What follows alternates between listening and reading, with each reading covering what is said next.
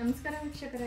Welcome to ಹರ್ಡಿಯರ್ cooking channel ನಾನಿವತ್ತು ನಿಮ್ಗೆ ತೋರಿಸ್ಕೊಡ್ತಾ ಇರೋದು ಒಂದು non veg recipe mutton biryani ಬನ್ನಿ ನೋಡೋಣ ಈ ಮಟನ್ ಬಿರಿಯಾನಿಯನ್ನು ಯಾವ ರೀತಿ ಮಾಡೋದು ಮತ್ತು ಅದಕ್ಕೆ ಬೇಕಾಗಿರೋ ಇಂಗ್ರೀಡಿಯೆಂಟ್ಸ್ ಏನೇನು ನಾನಿಲ್ಲಿ ಮಟನ್ ಬಿರಿಯಾನಿ ಮಾಡೋದಕ್ಕೋಸ್ಕರ ತೆಗೆದುಕೊಂಡಿರೋದು ಅರ್ಧ ಕೆ ಜಿ ಮಟನ್ನು, ಮೂರು ಲೋಟದಷ್ಟು ಬಾಸುಮತಿ ಅಕ್ಕಿ, ಮೂರು ಮೀಡಿಯಮ್ ಸೈಜ್ ಈರುಳ್ಳಿ, ಎರಡು ಮೀಡಿಯಮ್ ಸೈಜ್ ಟೊಮೆಟೊ, ಮೂರು ಟೇಬಲ್ ಸ್ಪೂನಷ್ಟು ಶುಂಠಿ ಬೆಳ್ಳುಳ್ಳಿ ಪೇಸ್ಟು ಮೂರು ಹಸಿಮೆಣಸಿನಕಾಯಿ ನಂತರ ಏಲಕ್ಕಿ ಐದು, ಲವಂಗ ಹನ್ನೆರಡು, ಚಕ್ಕೆ ಮೂರು ಪೀಸ್ನಷ್ಟು ಅಂದರೆ ಮೂರು ಇಂಚಷ್ಟು ತೆಗೆದುಕೊಂಡಿದ್ದೀನಿ. ನಂತರ ಕಾಳು ಮೆಣಸು ಹೊತ್ತು, ಒಂದು ಸ್ಟಾರ್ ಅನೈಸನ್ನ ತೆಗೆದುಕೊಂಡಿದ್ದೀನಿ.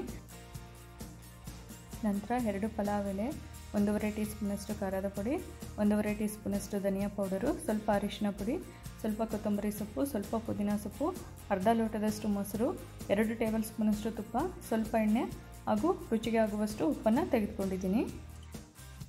ಮಟನ್ ಬಿರಿಯಾನಿ ಮಾಡೋದಕ್ಕೋಸ್ಕರ ಮೊದಲಿಗೆ ಒಂದು ಮಸಾಲೆಯನ್ನು ರುಚ್ಕೊಳ್ಬೇಕು ಅದಕ್ಕೋಸ್ಕರ ನಾನೊಂದು ಮಿಕ್ಸಿ ಜಾರನ್ನು ತೆಗೆದುಕೊಂಡು ಆ ಒಂದು ಮಿಕ್ಸಿ ಜಾರ್ಗೆ ಮೊದಲಿಗೆ ಕೊತ್ತಂಬರಿ ಸೊಪ್ಪನ್ನು ಹಾಕ್ತಾಯಿದ್ದೀನಿ ನಂತರ ಪುದೀನ ಸೊಪ್ಪನ್ನು ಹಾಕ್ತಾಯಿದ್ದೀನಿ ನಂತರ ಹಸಿಮೆಣಸಿನಕಾಯಿ, ಶುಂಠಿ ಬೆಳ್ಳುಳ್ಳಿ ಪೇಸ್ಟ್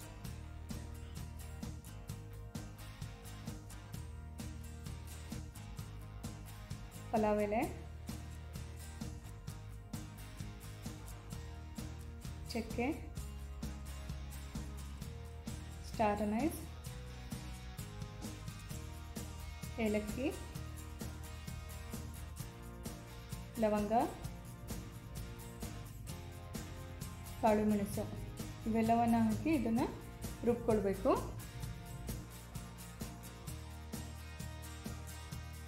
ಈ ರೀತಿಯಾಗಿ ಮಸಾಲೆಯನ್ನು ರುಬ್ಕೊಂಡಿದ್ದಾದಮೇಲೆ ನಾನೊಂದು ಕುಕ್ಕರ್ ತೆಗೆದುಕೊಂಡು ಆ ಕುಕ್ಕರ್ಗೆ ಮೊದಲಿಗೆ ಎರಡು ಟೇಬಲ್ ಸ್ಪೂನಷ್ಟು ತುಪ್ಪವನ್ನು ಹಾಕ್ತಾಯಿದ್ದೀನಿ ನಂತರ ಸ್ವಲ್ಪ ಎಣ್ಣೆಯನ್ನು ಹಾಕ್ತಾ ಇದ್ದೀನಿ.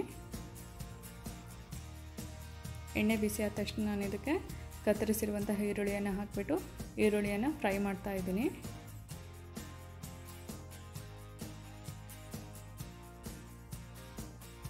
ಈರುಳ್ಳಿಯನ್ನು ಫ್ರೈ ಮಾಡಿದ್ದಾದಮೇಲೆ ನಾನು ಇದಕ್ಕೆ ಟೊಮೆಟೊವನ್ನು ಹಾಕಿ ಟೊಮೆಟೊವನ್ನು ಸಹ ಫ್ರೈ ಮಾಡ್ತಾ ಇದ್ದೀನಿ.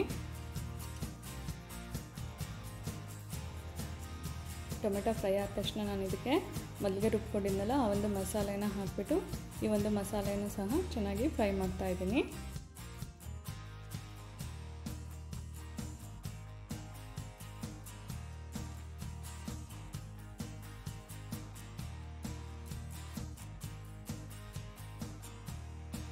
ಮಸಾಲೆಯನ್ನೆಲ್ಲ ಫ್ರೈ ಮಾಡಿದ್ದಾದಮೇಲೆ ನಾನು ಕುಕ್ಕರ್ಗೆ ಮಟನ್ ಪೀಸಸ್ನ ಹಾಕ್ತಾ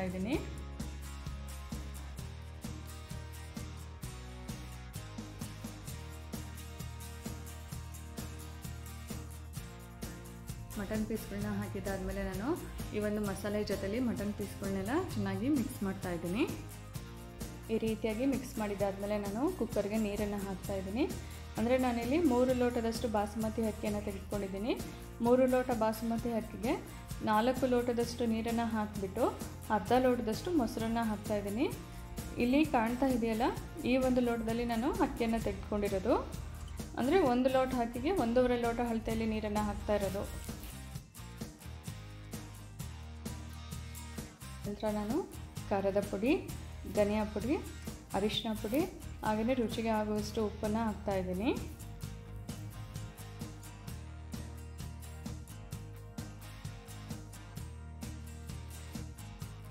ನಂತರ ನಾನು ಕುಕ್ಕರ್ ಮುಚ್ಚಳವನ್ನು ಮುಚ್ಚಿ ಒಂದು ಐದಾರು ವಿಜಲ್ ಬರೋವರೆಗೂ ಈ ಒಂದು ಕುಕ್ಕರ್ನ ಕೂಗಿಸ್ತಾ ಇದ್ದೀನಿ.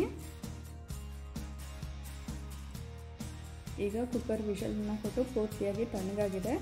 ಇವಾಗ ನಾನು ಕುಕ್ಕರ್ ಮುಚ್ಚಳವನ್ನು ತೆಗೆದು ಈ ಒಂದು ಕುಕ್ಕರ್ಗೆ ಮೊದಲೇ ನೀರಿನಲ್ಲಿ ನೆನೆಸಿಟ್ಟಿರುವಂತಹ ಬಾಸುಮತಿ ಅಕ್ಕಿಯನ್ನು ಹಾಕ್ತಾ ಇದ್ದೀನಿ. ಅಂದರೆ ನಾನಿಲ್ಲಿ ಅಕ್ಕಿಯನ್ನು ಒಂದು ಹದಿನೈದು ನಿಮಿಷಗಳ ಕಾಲ ಮೊದಲೇ ನೀರಿನಲ್ಲಿ ನೆನೆಸಿಟ್ಟಿದ್ದೆ.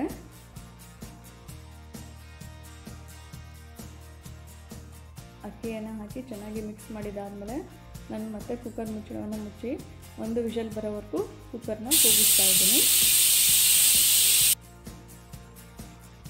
ಈಗ ಕುಕ್ಕರು ವಿಷಲ್ ಕೊಟ್ಟು ಪೂರ್ತಿಯಾಗಿ ತಣ್ಣಗಾಗಿದೆ. ನಂತರ ನಾನು ಕುಕ್ಕರ್ ಮುಚ್ಚಳವನ್ನು ತೆಗೆದುಬಿಟ್ಟು ಈ ಒಂದು ಮಟನ್ ಬಿರಿಯಾನಿಯನ್ನು ಚೆನ್ನಾಗಿ ಮಿಕ್ಸ್ ಮಾಡಿ ಇದನ್ನು ಒಂದು ಸರ್ವಿಂಗ್ ಬೌಲ್ಗೆ ತೆಗೆದುಕೊಳ್ತಾ ಇದ್ದೀನಿ. ನೋಡಿದ್ರಲ್ಲ ಮಟನ್ ಬಿರಿಯಾನಿಯನ್ನು ಯಾವ ರೀತಿ ಮಾಡೋದು ಅಂತ? ನೀವು ಸಹ ಈ ರೀತಿಯಾಗಿ ಮಟನ್ ಬಿರಿಯಾನಿಯನ್ನು ಮಾಡಿ ಖಂಡಿತವಾಗ್ಲೂ ನಿಮಗೆಲ್ಲ ಇಷ್ಟ ಆಗುತ್ತೆ. ನಂತರ ನಿಮ್ಮ ಅಭಿಪ್ರಾಯವನ್ನು ನಮಗೆ ಕಮೆಂಟ್ ಬಾಕ್ಸ್ನಲ್ಲಿ ತಿಳಿಸ್ಕೊಡಿ. ಹಾಗೆಯೇ ನೀವು ನಮ್ಮ ಚಾನಲ್ನ ಲೈಕ್ ಮಾಡಿ ಶೇರ್ ಮಾಡಿ ಮತ್ತು ಸಬ್ಸ್ಕ್ರೈಬ್ ಮಾಡ್ಕೊಳ್ಳಿ. ನಾನು ನೆಕ್ಸ್ಟ್ ಇನ್ನೊಂದು ರೆಸಿಪಿಯೊಂದಿಗೆ ನಿಮ್ಮ ಮುಂದೆ ಬರ್ತೀನಿ. ಥ್ಯಾಂಕ್ ಯು ನಮಸ್ಕಾರ ವೀಕ್ಷಕರೇ.